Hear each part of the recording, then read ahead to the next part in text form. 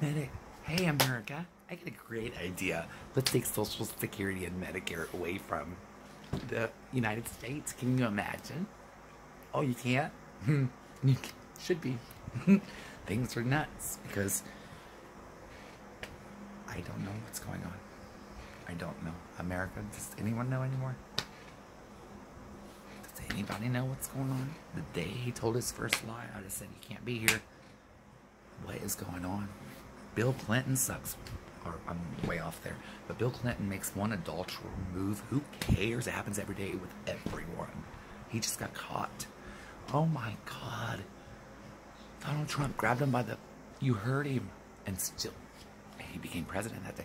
So you know I watched every single what the what are they called? Um debate. And I'm not even political.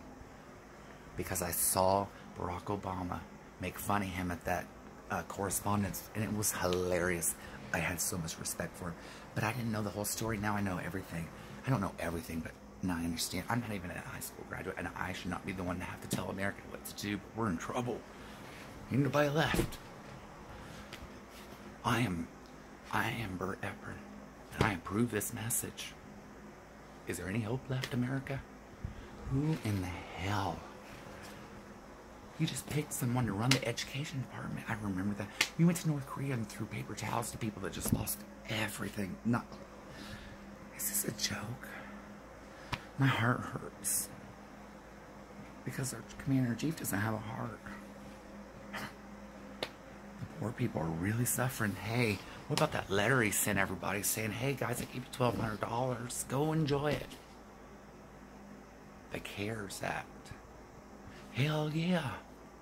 We don't have a choice. There's a rampant, un out of control, what's it called? A virus. Everybody's stuck in their houses now. I am I'm scared to death, America. I am scared to death.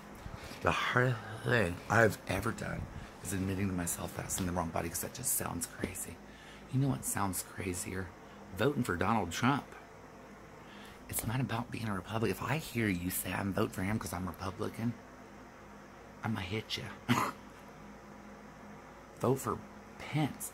I wouldn't vote for Pence because of the way he sees things. You cannot make something true because you say so. It's still a lie.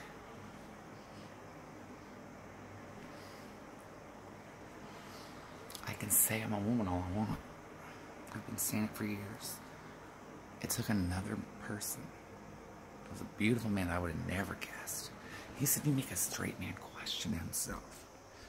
Why? I'm beautiful. It's not about sex. This is, our country's out of control. Within 60 days, we may not have any Medicare, no Social Security. The rich people out there right now are throwing parties where that and turn off their lights and water. If they don't stop having parties because the COVID-19 is out of control. And the poor people are being evicted. They got $1,200 six months ago. What did they do with that? This is nuts.